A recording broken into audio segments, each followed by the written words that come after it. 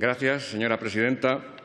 Señor ministro, esta pregunta iba dirigida al voraz Montoro, pero resulta que alguien le ha hecho usted el encargo de contestarme por él y, de ese modo, asumir la carga sin el cargo, de explicarnos por qué Hacienda graba al cine sin decoro. Cinco años hace que tronó el ministro del Tesoro sin que nadie nos explique las razones del embargo que llevaron a imponerle al cine, un IVA que de largo a la cabeza de Europa pone a la piel de toro. El Gobierno nos informa de que en estos presupuestos el IVA de los toros y del teatro enmienda, pero que en el cine mantendrán altos los impuestos. Y por más que se empecine, no hay quien entienda cuáles son las razones y los justos argumentos que justifican la ojeriza contra el cine del de Hacienda. Muchas gracias.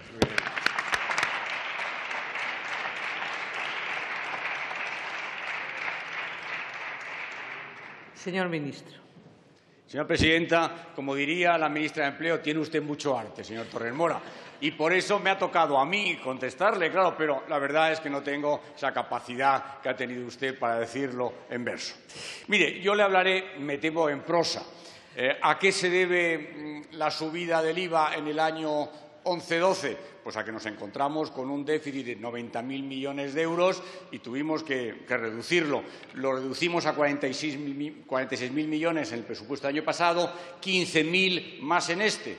Y, hemos reducido los impuestos a todos los españoles en el IRPF y en el impuesto de sociedades 12.000 millones de euros. Y eso nos va a permitir una buena política presupuestaria y una buena política de reformas el que este año baje el IVA para los espectáculos en vivo. Y, por tanto, si seguimos así, si seguimos así, ¿sabe lo que haremos también en los próximos presupuestos? Bajaremos también el IVA al cine. Porque, mire, yo no, tengo, la, tengo la inspiración que tiene usted, pero sí me acuerdo de la letra de una canción de Aute que decía cine, cine, cine, más cine, por favor, que todo en la vida es cine y los sueños cine son.